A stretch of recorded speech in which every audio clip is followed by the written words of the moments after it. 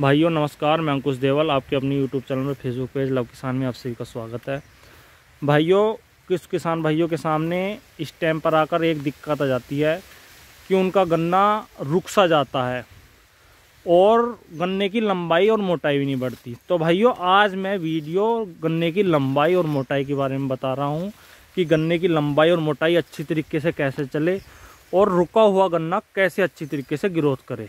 तो भाइयों इस वीडियो में लास्ट तक बने रहें और सारी वीडियो देखें। तो भाइयों, आज मैं ऐसे प्रोडक्ट के बारे में बता, बात कर रहा हूँ, जिसे डालने के बाद, जिसे यूज़ करने के बाद आपके गन्ने की लंबाई हंड्रेड परसेंट बढ़ेगी और मोटाई भी काफ़ी अच्छी तरीके से ग्रोथ करके चलेगा गन्ना और मोटाई अच्छी होगी और गन्ने में इम्यूनिटी पैदा होगी, जिससे रोग प्रतिरोधक क्षमता बढ़ती है और गन्ने में कोई भी कीट या रोग नहीं आता और गन्ना अच्छी तरीके से ग्रोथ करके चलता है। और भाइयों, जब गन्ने में कीट नहीं लगेगा, कोई रोग नहीं आगा तो गन्ने की ग्रोथ भी अच्छी होगी और पैदावार पर बहुत फ़र्क पड़ता है। और लंबाई और मोटाई इस टाइम पर आकर मेन होती है। अगर आपका गन्ना इस टाइम पर आकर रुक गया, आपने काफ़ी मेहनत की इस टाइम लो आकर, क्योंकि ज़ीरो दो सौ अड़तीस में तो खासकर इतनी मेहनत करनी पड़ी किसान भाइयों को बहुत ज़्यादा, तभी जाकर इतना अच्छा गन्ना हुआ। और इस टाइम से बाद अगर आप उसकी अनदेखी कर देंगे और कुछ नहीं लगाएँगे तो भाइयों, जो ज़रूरी पोषक तत्व हैं, उनकी पूर्ति नहीं करेंगे तो गन्ने की लंबाई पर भी फ़र्क पड़ता है और मोटाई पर भी। तो आज मैं ऐसे प्रोडक्ट के बारे में बात कर रहा हूँ, जिसे यूज़ करने के बाद आपका गन्ना लंबाई भी अच्छी तरीके से करेगा और मोटाई भी।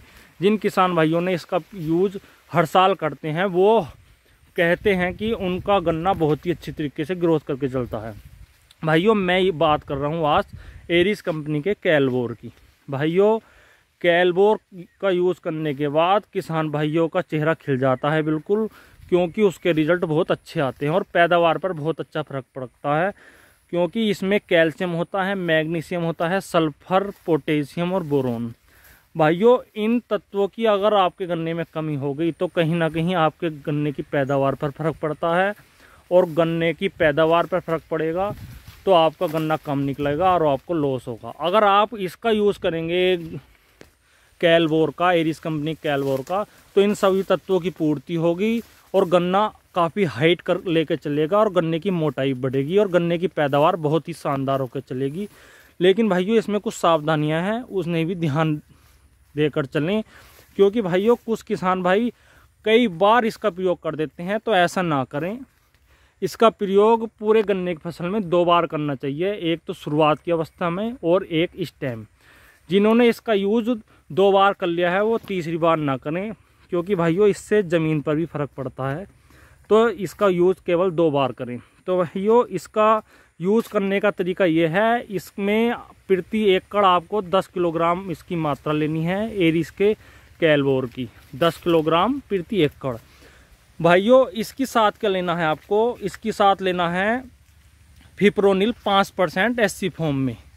फिप्रोनिल पाँच परसेंट एस फॉर्म में लेना है और इसकी मात्रा लेनी है 500 सौ प्रति एकड़। तीसरा लेना है भाइयों आपको thiamethoxam 25 percent W G form में। भाइयों thiamethoxam 25 percent W D G form में वो लेना है भाइयों 500 ग्राम प्रति एकड़। तीन चीज़ें बताई भाइयों मैंने आपको। कैलवोल लेना है 10 किलोग्राम प्रति एकड़, फिब्रोनिल लेना है 5 परसेंट एस फॉर्म वाला 500 सौ एम प्रति एकड़ तीसरा लेना है thiamethoxam 25 percent W G form में। वो लेना है भाइयों आपको 500 ग्राम। इन तीनों को भाइयों मिलाकर आपस में आप खोट खोट डाल दें और अगर आप यूरिया लेना चाहते हो तो पाँच पाँच किलोग्राम प्रति एकड़ का यूरिया लें और इसे डालने के बाद आप अपने गन्ने की सिंचाई कर दें। और इसका रिज़ल्ट भाइयों इतना शानदार आएगा कि आप भी कहोगे कि बहुत शानदार रिज़ल्ट आया। दूसरी बात भाइयों, अगर आपने अपने गन्ने के खेत में कोई कीटनाशक इससे पहले 15-20 दिन पहले यूज़ किया है तो इन कीटनाशकों का यूज़ ना करें, क्योंकि खर्चा एक्स्ट्रा करने से कोई फ़ायदा नहीं है, क्योंकि उनका रिज़ल्ट भी 35-40 दिन का होता है। तो वो किसान भाई ज़रा ध्यान से वीडियो देखें, जिन्होंने पहले यूज़ किया है, वो अब यूज़ ना करें कीटनाशकों का, और वो कैलवोर ही निकालिस यूज़ कर सकते हैं, कोई दिक्कत नहीं है। और कुछ किसान भाइयों ने अगर पहले कैल्शियम और ये ये तत्व आपने यूज़ कर रखे हैं किसी और प्रोडक्ट के ज़रिए तो वो भी इसका यूज़ ना करें। क्योंकि भाइयों बार बार यूज़ करके आपके गन्ने की फ़सल पर उसका साइड इफ़ेक्ट पड़ते हैं तो इनका बार बार यूज़ ना करें। दूसरा, आपने अगर इसका यूज़ ज़्यादा मात्रा में कर लिया कैलबोर का तो कोई दिक्कत नहीं है। जैसे 10 किलोग्राम प्रति एकड़ आपने मात्रा ली अगर इसकी मात्रा आप 12 से 13 किलोग्राम भी ले लोगे ना तो भी कोई दिक्कत वाली बात नहीं है। बस आप सिंचाई का थोड़ा फोकस रखें, सिंचाई आप टाइम टू टाइम करते रहें। इस टाइम अगर आप सिंचाई टाइम टू टाइम करेंगे तो उससे भी गन्ने की फ़सल पर बहुत अच्छा प्रभाव पड़ता है, गन्ने की पैदावार पर प्रभाव पड़ता है। तो भाइयों, इन चीज़ों का ध्यान रखें, और अगर आपको वीडियो पसंद आई हो तो लाइक और शेयर करें, और चैनल को सब्सक्राइब करें। धन्यवाद, नमस्कार।